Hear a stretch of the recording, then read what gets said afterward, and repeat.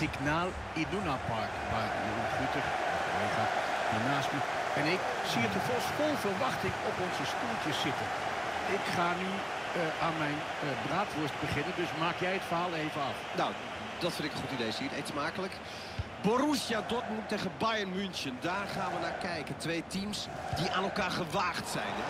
En hopelijk resulteert de rivaliteit ook in een goede, beladen wedstrijd.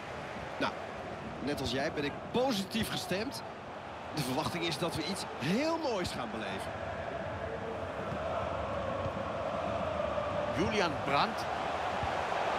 Bal veroverd in de 16. De coach van Borussia Dortmund heeft gekozen voor deze elf. Niklas Zuren speelt achterin met Mats Hummels in het centrum. En in de aanval staat Sébastien Aller. Het duel wordt straks door Bayern München begonnen met deze opstelling. Onder de lat Manuel Neuer. Lucas Hernandez speelt achterin. Samen met Upamecano als centrale verdediger. Mané begint het middenveld. Samen met Leroy Sané aan de buitenkant. En verder tellen we twee spitsen voor in die ongetwijfeld. Oh, als dat geen goal wordt. Neuer, die voorkomt het doelpunt. En die inzet was toch van heel dichtbij. Voor het doel gegeven. En gekeerd door de doel.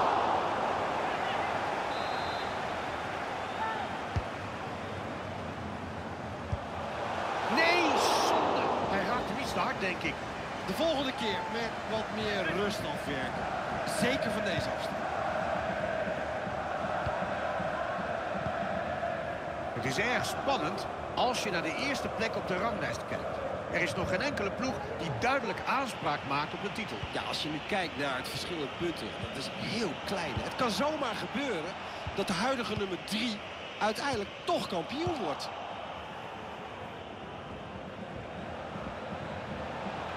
En dan is hij opeens los. Niet eens in de buurt van de paal. Tijd voor een wissel bij Borussia.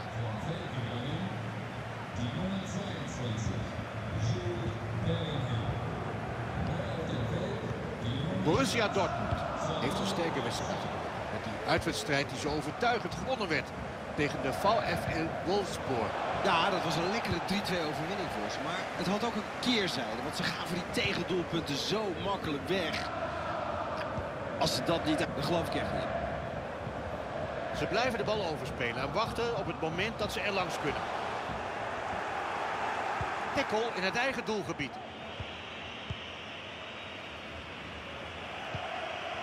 Sadio Mane is een heerlijke voetballer om naar te kijken. Wat zouden we van hem mogen verwachten vandaag? Die man die is gewoon een bloedvorm. Echt onvoorstelbaar. Zo vaak en zo makkelijk als hij al heeft gescoord in deze competitie. Ja, wil je hem als verdediger afstoppen, dan moet je echt van goede huizen komen. Lekker vooruitzicht als je zijn directe tegenstander bent. Julian Brandt. Doelkans om voor te komen. Doelpunt! Borussia Dortmund. Oh, hij maakt die kans goed af, zeg. Hij maakt de openingsgoal.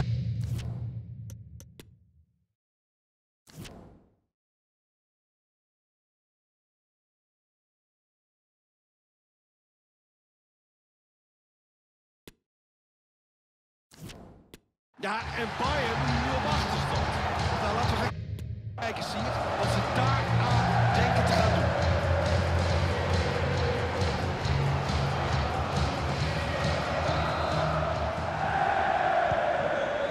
München trapt af.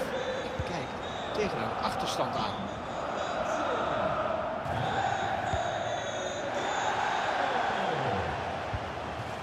Choupo-Moting.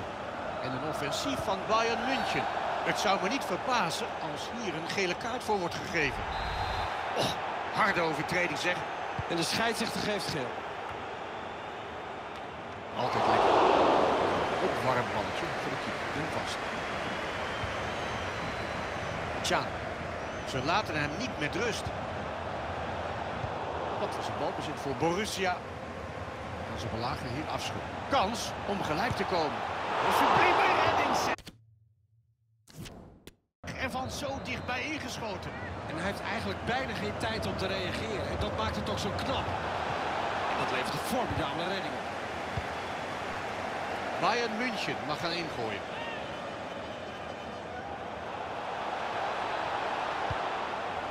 Sadio Mane. Hij zit er goed tussen bij die pas. Rafael Guerrero.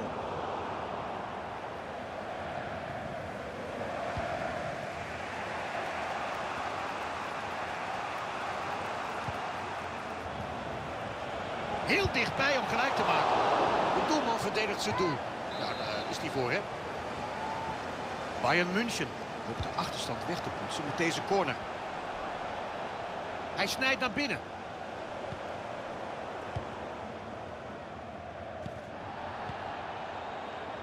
Sebastien Haller. Marius Wolf. Borussia Dortmund zoekt het vijandelijke doel.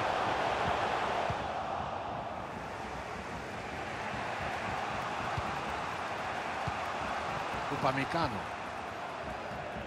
Doorjagen op Kimmich. Mooie actie. Een fraaie lop. Ja, het is een baas. Julian Brandt. Ja, hij neemt hem. Ja, goed tegengehouden.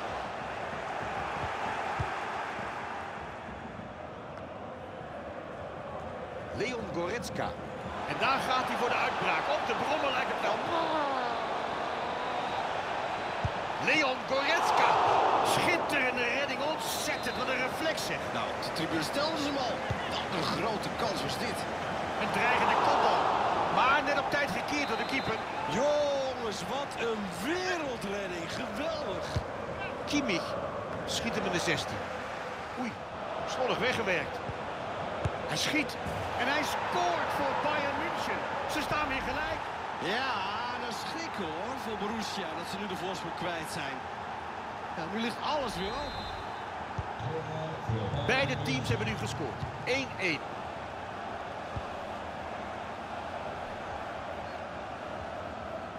De arbiter heeft de overtreding gezien, maar geeft voordeel aan Dortmund. Emre Can. Aller. Daar is Brandt. Het is nou een goed passingspel van Borussia Dortmund daar rond de 16. Geen probleem voor de keeper. Hij zag hem al op naast. Ja, kijk, dat zijn nog eens statistieken. Veel aanvallen, veel kansen voor beide ploegen. Het is een fantastisch spektakel voor de neutrale toeschouwer. Echt een heerlijke wedstrijd.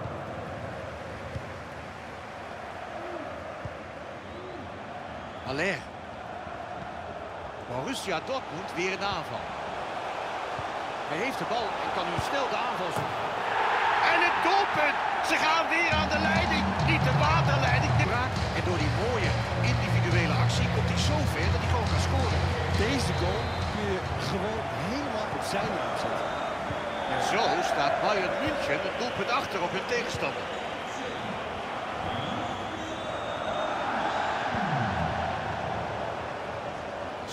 Zo naar de tegenstander.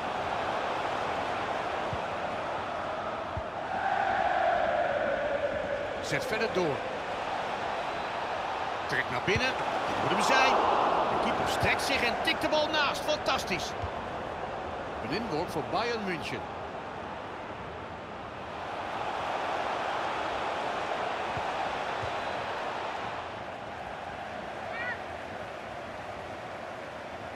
richting het centrum met de bal. Bal weer veroverd. Net op tijd, denk ik.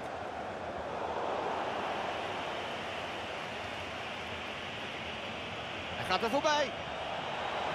Dit kan de gelijkmaker worden. Schitterende reactie. Zo dichtbij ingeschoten. Ik dacht dat hij erin ging. Wat een geweldige reflex. Hele adequate redding. Een eenvoudige redding voor die keeper op die koppel, of niet? Ja, daar zou je normaal gesproken zijn bed niet eens voor uitkomen.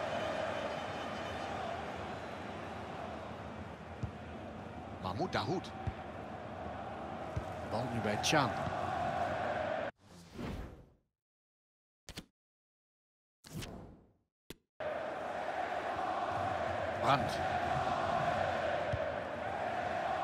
Marius Wolf.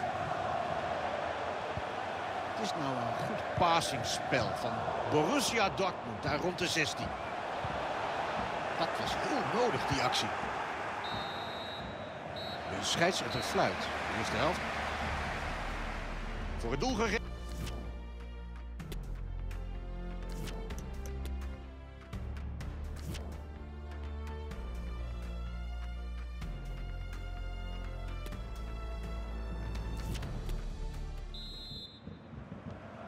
Klinkt het fluitsignaal. Het tweede bedrijf is begonnen. Borussia Dortmund neemt een bescheiden voorsprong mee uit de kleedkamer.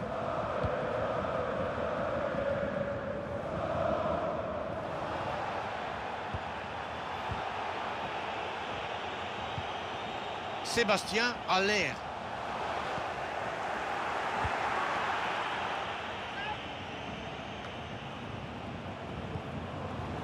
Rafael Guerrero. Ah. Leroy Sané.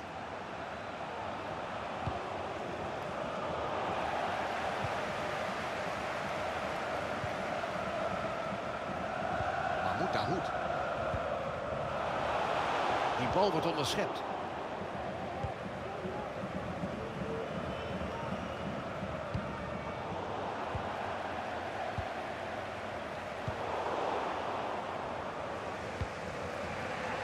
Hij onderschept hem. Hij komt in de buurt van het 16 meter gebied.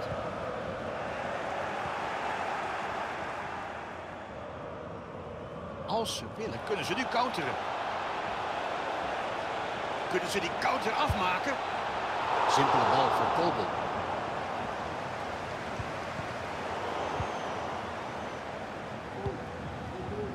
Aller. Guerrero.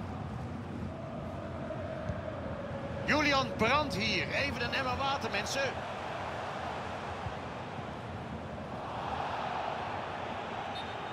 Borussia Dortmund hebben nog niet eens zo gek veel aan de bal gezien. Maar ze hebben dat balbezit blijkbaar ook helemaal niet nodig... om toch een zege in de wacht te slepen. Dit kan een gevaarlijke aanval worden.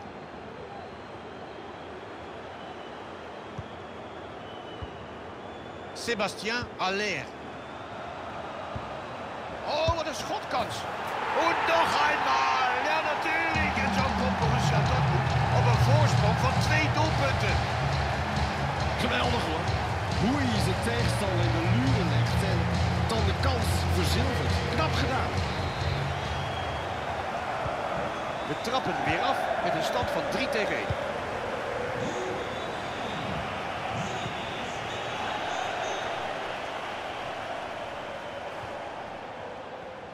Hij ontsnapt, hij moet scoren. Oh ja, alleen op de keeper af. Ja, dan moet hij er toch altijd in. Ja, maar ja, ga er maar eens aan beginnen bij deze keeper. Dat is echt een heerlijke redding hoor. Al naar het midden. Rechtstreeks in de handen van het doelman. Geen probleem.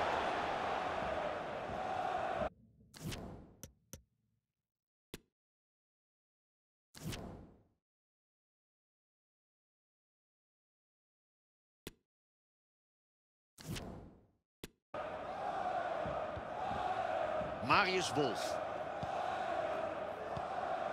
Brandt. Vanaf die positie is een counter mogelijk. Nee, geen doelpunt. Hij vergeet het gewoon af te maken. En levert die bal in bij de keeper. Voor het doel gegeven. Schot wordt geblokkeerd. Leidt dit ergens toe? Sébastien Aller. Oei, oei, oei, oei, dat scheelt niet veel, hè? Of die had een tweede doelpunt gemaakt. Nee, maar ja, er staat ook nog iemand onder de lat hè. Die staat daar niet voor niets. Mooie redding.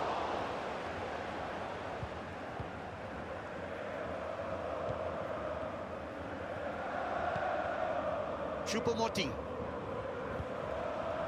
Goed van de bal gezet. Sébastien Aller. En daar gaat hij voor de uitbraak. Op de brommer lijkt het wel. Kimmich.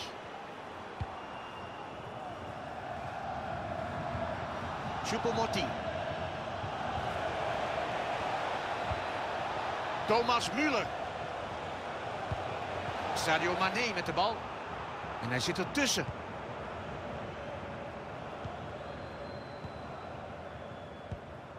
Rafael Guerrero. Er ligt ruimte voor een counter. Zo moet het dus niet. Deze counter sterft in schoonheid. Gevaarlijke steekpas. Door de lucht gegeven is op de radar te zien. En hier gaat de speler te snel lopen. Ja, en dan is het buitenspel. Nou, die speler zal wel balen, want die steekpaas zag er echt heel gevaarlijk uit. Ja, dit is natuurlijk iets waarop geoefend wordt. Maar het betekent niet dat het altijd lukt. En een eenvoudig blok.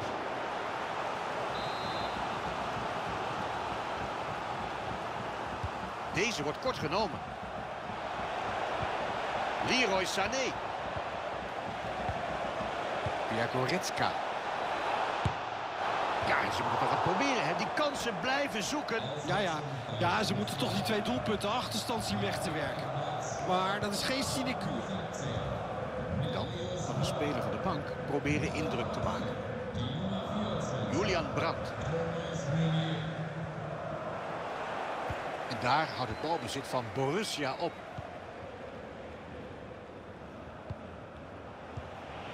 Leon Goretzka. Kingsley Coman. Kijken wat hij ermee doet. Ja, ja, ja! Ja, die zit. En dan is het verschil nog maar één. Het kan nog. Het vijfde doelpunt. 3 tegen 2. Bal buiten de lijnen, inworp. Eens kijken of Borussia Dortmund deze wedstrijd netjes uit kan spelen. Deze krappe voorsprong kunnen ze zich niet één fout veroorloven. Over de hele linie hebben ze natuurlijk uitstekend gespeeld. Maar achterin, hier, opeens, het moment om uit te halen. Eerlijk zijn, dit soort kansen moet je benutten. Ze hadden nu twee doelpunten voor kunnen staan. Ik heb het idee dat ze daar nog spijt van gaan krijgen. Want deze had gewoon moeten zitten. Dat is bij een heel andere wedstrijd. Gnabry. Dat doet hij goed.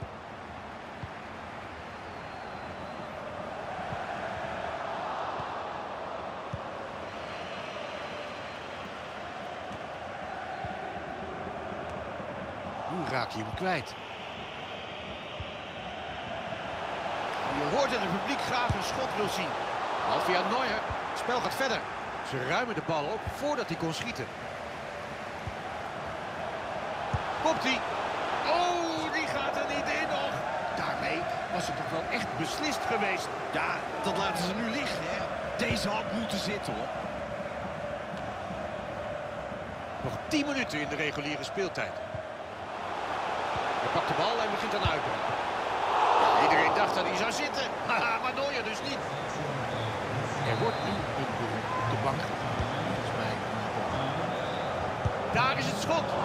Dit is nou, wat je zegt, een hele nuttige redding geweest. Ja, dat mag je wel zeggen, Siert. Als deze erin was gegaan, dan was het definitief gedaan geweest met ze.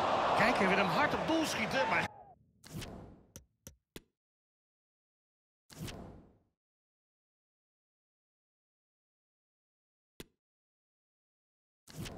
Echt de verkeerde kant op. Dit moet veel en veel nauwkeuriger.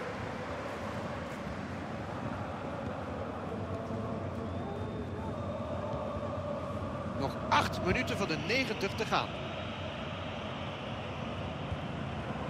Maar nee. Bayern München met misschien nog een laatste aanval van de wedstrijd. Dan kunnen ze nog. Die bal is voor de doel.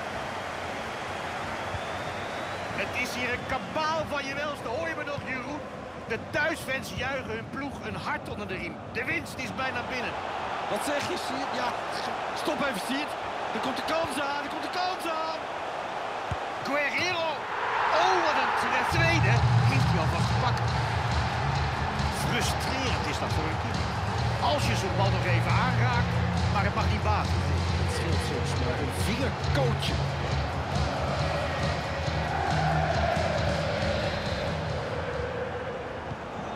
Trappen weer af en gaan verder met 4 tegen 2.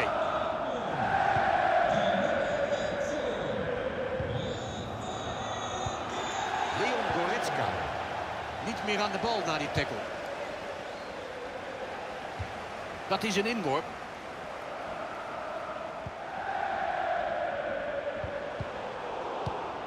Nou, Hier moet je nou net niet de bal kwijtraken. Geen probleem voor de keeper. Hij zag hem al lang naast gaan.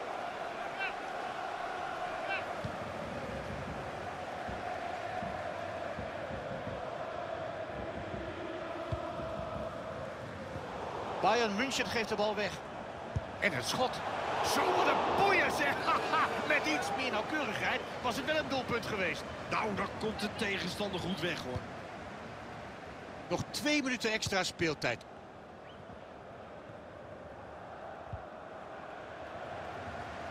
Inworp voor de tegenpartij na die actie.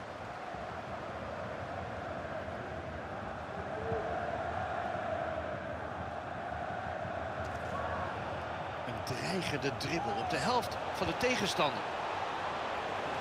Müller ziet deze bal. En dat is de aansluitingstreffer. Net voor tijd wordt het toch nog spannend. Ja, dat mag je wel zeggen. En er zijn nu ook weer mogelijkheden, hè? Ja, de scheidsrechter fluit af. Borussia.